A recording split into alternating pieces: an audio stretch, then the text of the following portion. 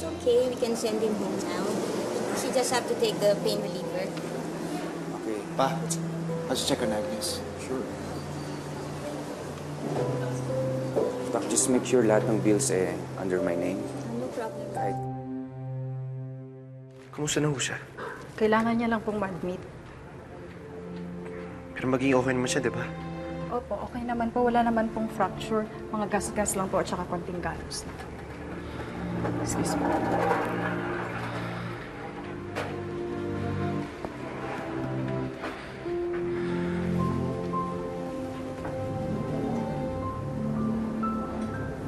Tinakot mo kami dun ah.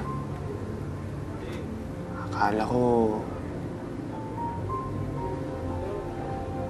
Akala ko I've lost you.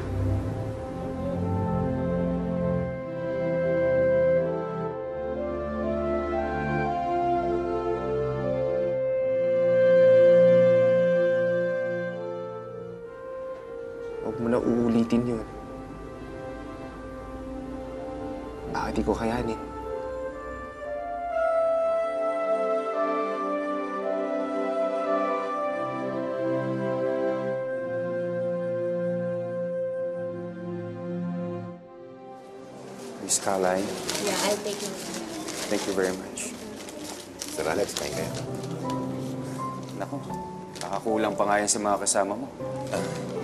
Sanay sa chicken yung na yan. At ah, yung babae nga pala na kasama ni Agnes sa tindahan, ligtas na rin siya. Ah, salamat naman kung ganon. Tsaka maraming salamat po sa inyo. Lalo na kay Sander. Hindi dahil sa inyo eh, baka wala na yung anak ko. Don't mention it, Mr. Kalay. Ako nga dapat magpasalamat sa inyo eh, sa lahat ng kabutihan pinakita niyo sa anak ko. Uh, kaya mo naman ako makabayad sa inyo, kahit sa pagbayad ng hospital bills. Naku po. Ah, nakakaya naman po sa inyo. Sa dami na po na itulong niya eh. Sobra-sobra na ako yan. It's too late, Mr. Kalay. Pinalipat ko na sa private room ang anak ninyo. Ay, kaya naman, no? Kaya naman no sa inyo. Hayaan nyo. Ah, pabayaran ko sa inyo yan. Medyo hulug-hulugan ko lang ng konti. Ang dami nyo na naitulong sa amin eh. You don't have to, Mr. Kalay. Matagal na kayong bayan. Maraming salamat po. Kain mo na kayo.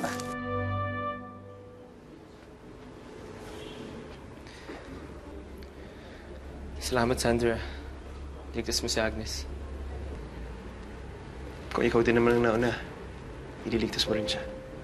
Pero ikaw nauna. Kaya salamat.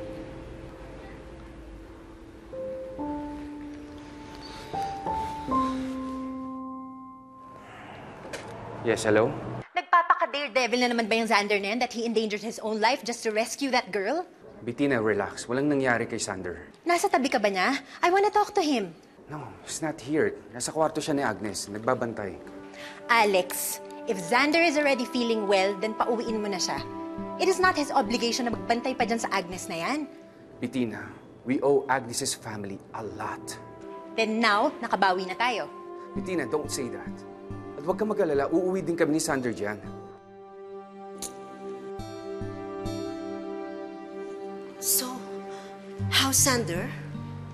Ayun, muntik nang mapahamak dahil nagpapakabayani ng wala sa lugar. Sander, we have to go. Pa, I wanna be here when she wakes up. I understand.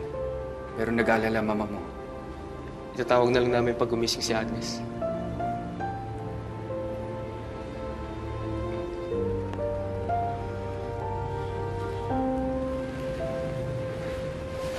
Mr. Kalay, we'll go ahead.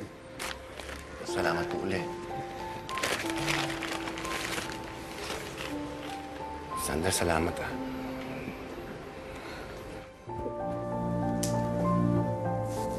Hindi dahil sa'yo, siguro. Salamat, Isoy. Galing mo. Our hero, I salute you. Go. Salamat.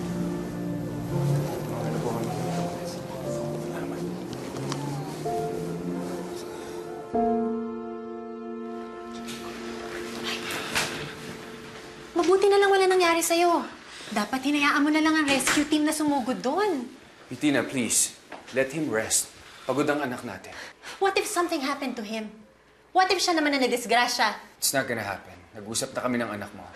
Right, Sander? Yes, pa. Siguruhin mo lang natutuparin mo yung yes mo. Hindi yung isang tawag lang ng mga taga-bundok na yun, susugod ka agad doon. Tell me, since when ka naging concerned sa buhay ng mga magsasakang yun? Since when are you willing to give up your life for a bunch of strangers?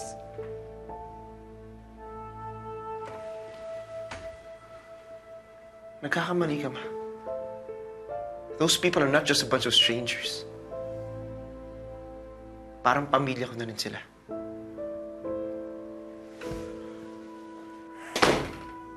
Told you, Bettina. We owe those people a lot. Sorry.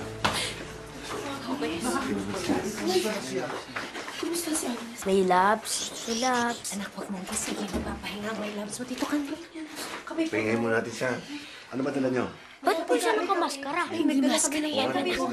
Oxygen yan. Ano po ko ni oxygen? Upo. Ha? O ano? Ano po yun nilalangap natin?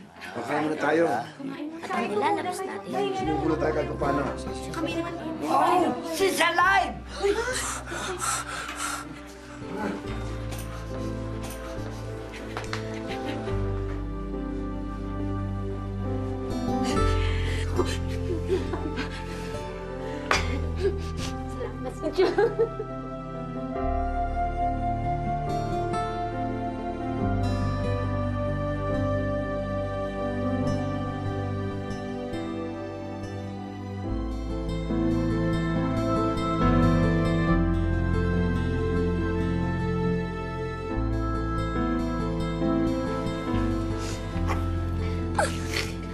Namiss ko po kayong lahat. Malagala na kayo. Pasensya na kayo, ha? Maraming salamat sa pagpasakan, ha? Huwag kang magpasalamat sa amin. Magpasalamat yan dun sa taong nakahanap sa'yo at nagligtas. Si Sander yun.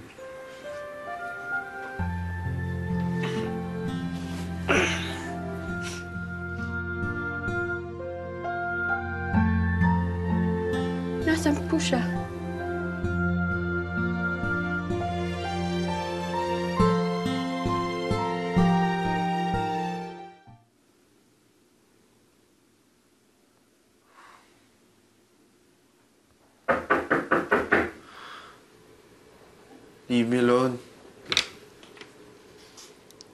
Hey, it's me. Sorry, Auntie Meg.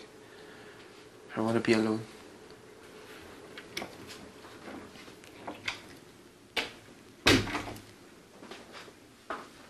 I just want to make sure that you're really okay.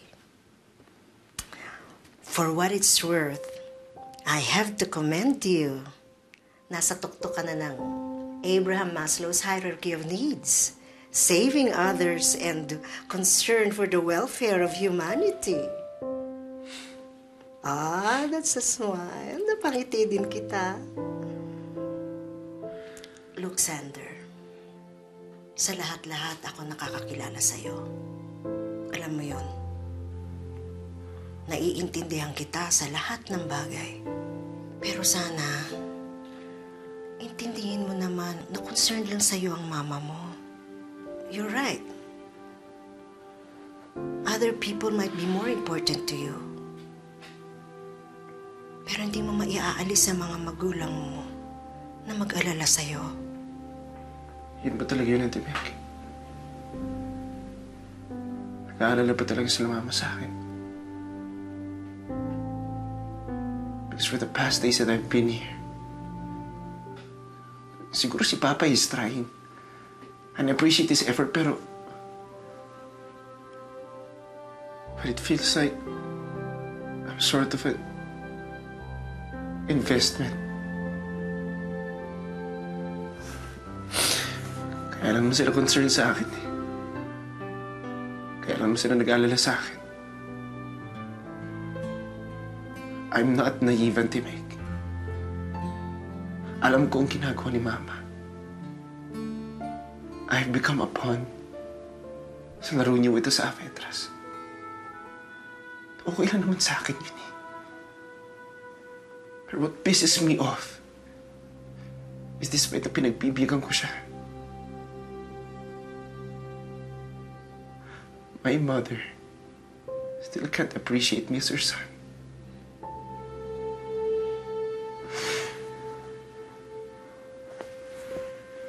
I guess, yata talaga yun.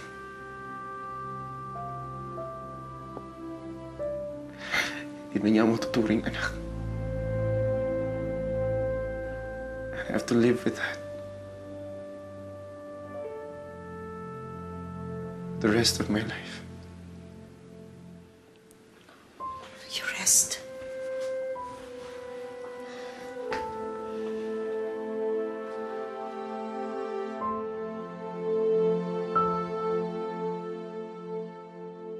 One can stop him, Agnes.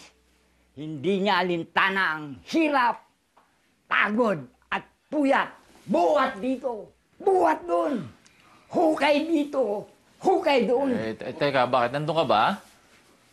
Wala. Imagination lang niya, ikaw naman. Eh, para makuha sa ilalim ng lupa yan. Ay, ay, ay.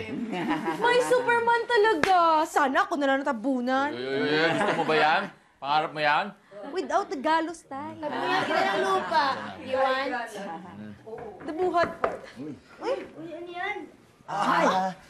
Magandang araw po. Hi, Mon Mon. Oh, Agnes, okay ka lang? Masakit ba? Wow.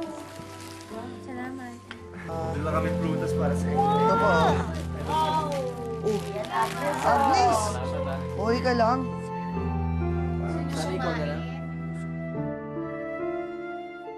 Hanggang mapatawad mo ako Ibababa ko ang pride ko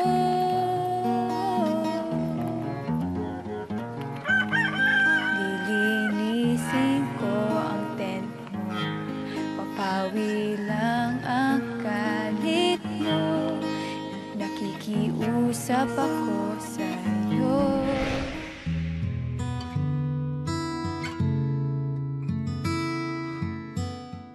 There are times when I just want to look at your face.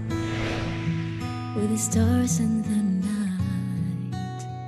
There are times when I just want to feel your embrace the cold of the night.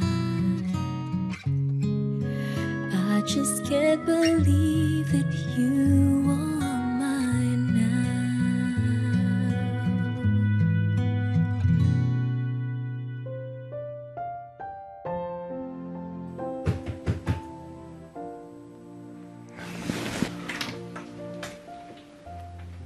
Have I told you that Kate called?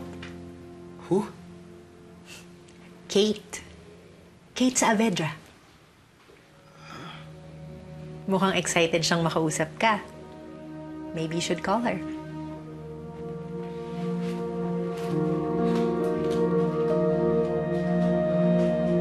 You know, I'm just wondering, parang they didn't have a special relationship in the past.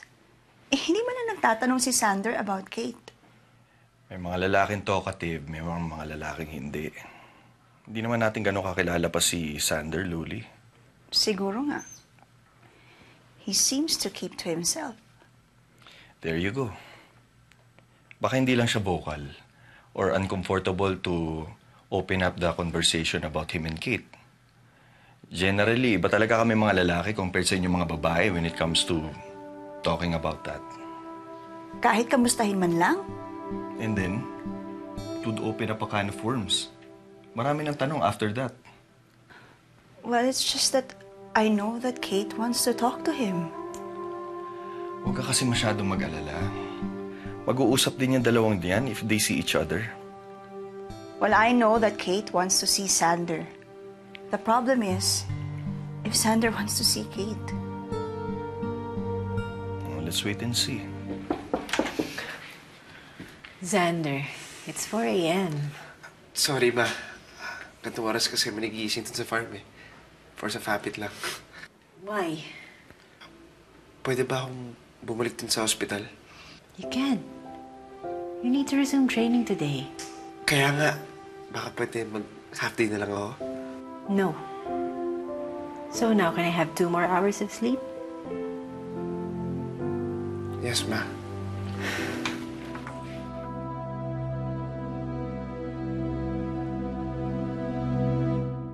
Okay na ang tuhod mo, Miss Kalay. Masakit lang siya ngayon kasi nabugbog lang talaga, no? Pero pahinga ka lang, tapos ah, bibigyan kita ng mga gamot and pwede na rin siyang umuwi today. Mm. Yes, tatanggalin na lang yan mamaya-maya and pwede na kayo umuwi. thank you po. Sige. Marami po Okay, salamat. sige. Sige po. Nakuwi na tayo. Oh, yan, ubusin na lang daw to. Iligpit na natin yung gamit. Oo na natin kainin sa Nakakalimutan ko na rin kasi may paksiw ka na. naman. Pang, bago po tayo umuwi, pwede po ba mag-request? Ano yan? On our next meeting, we'll be talking about our marketing strategy. Sir and how Sander? Somebody's looking for you.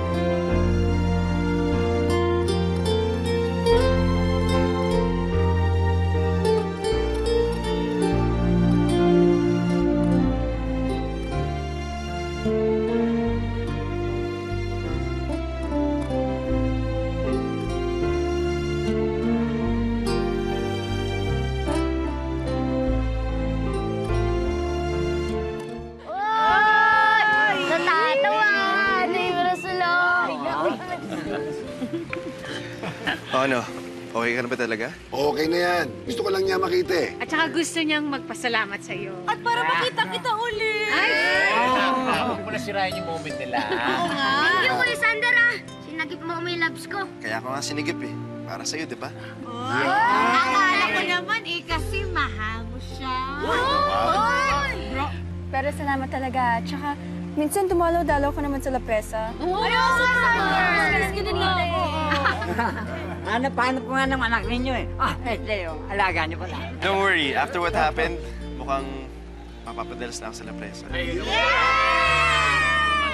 ko na nasad. At ako, pwede rin dumalaw rito, my boy. Ah, Papisyal-pisyal ka, ah. Amerikana ka pa. Ano, kain tayo? Treat ko. Hoy, gutom na ako. Halika na. Ang sosyal mo dito, Superman.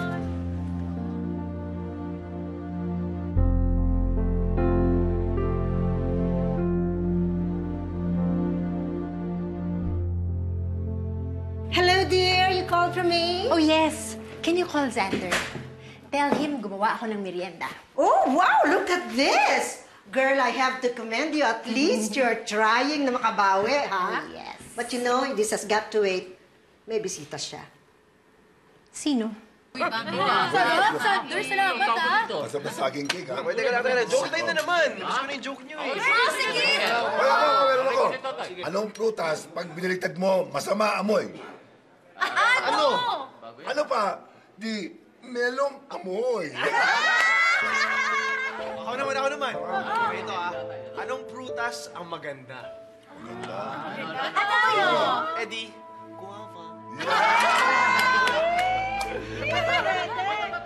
Those people are not just a bunch of strangers. Parang pamilya ko na rin sila. Pa.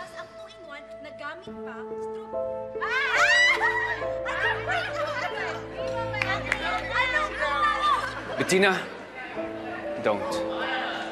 Hayaan mo mag-enjoy ang anak mo sa kanila. Anyway, pagkatapos niyan, babalik na sila sila presa.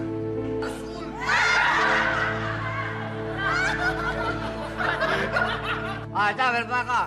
Use kamuning in a sentence? Every time I call my cat, I say, kamuning. Sarap pala ng pagkain ng mayayaman. Nakita mo yung tinapay nila, dagan-dagan.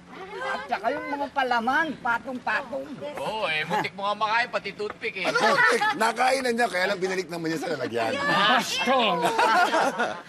Pang, nasan po si Andrew? Ay, nag-text nga pala sa akin. Pagod na daw siya. Sa bagay anak eh, halos libutin niya ang buong Baguio sa kakahanap sa'yo. Sabi nga ni Ninang Kikay niya eh, halos mapaway sila sa presinto dahil sa'yo. Uy. Pang, pero naman po akong cellphone. Salamat. Uy, Pasakay na kayo. Para makalis na tayo.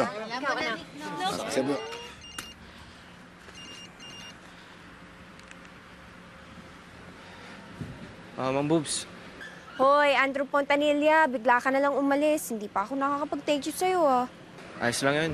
Wala naman akong nagawa eh. Nagtatampo ka ba? Bakit naman ako magtatampo? Eh, yung boses mo kasi parang nagtatampo, eh. Agnes, masaya ako naligtas ka at okay ka. Pero parang nagtatampo ka talaga, eh. Baka kasi iniisip mo, hindi man lang ako nakapag-thank you sa'yo. Hindi ko naman iniisip yun eh. Drew, huwag ka na magtampo sa akin. Naalala mo, nung mga bata pa tayo, kapag naliligaw tayo, o kapag nasusugatan tayo, hinihipan mo ang sugat ko para mabilis gumaling. Tsaka hinihipan mo din ang ulo ko para tumalino ako, tsaka wag nang maligaw. Drew? Hello? Diyan ka pa? Oo, nakikinig lang ako. Basta bukas, pag di ka busy, dumaan ka sa amin, ha? Hihipan mo pa yung mga sugat ko para mabilis gumaling. Sige, promise. Pagising mo, pagmulat mo, iniipan ko na yung mukha mo. Sige, magpahinga ka na rin. Thank you, Drew, ah, sa lahat ng ginawa mong paghahanap sa akin. Best friend talaga kita. Sige na, pahinga ka na. Sige, bye.